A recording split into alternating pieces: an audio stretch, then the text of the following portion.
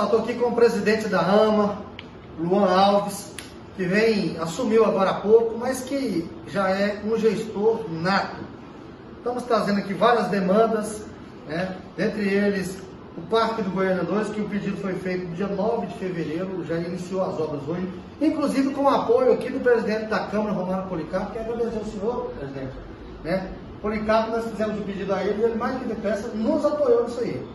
E também o parque, aqui do Bom Jesus. Dentre elas, são várias demandas, presidente, quer passar a mão ao senhor e tenho certeza que eu quero, quero ver essa, esses parques aí do jeitinho que o senhor quer que, que esses parques aconteçam.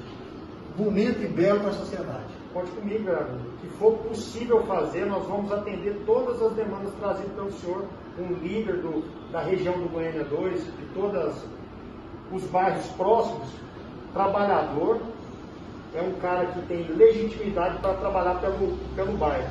Conta comigo, o que for possível fazer aqui, a AMA está à sua disposição e no seu mandato. Obrigado, meu presidente. Valeu, pessoal.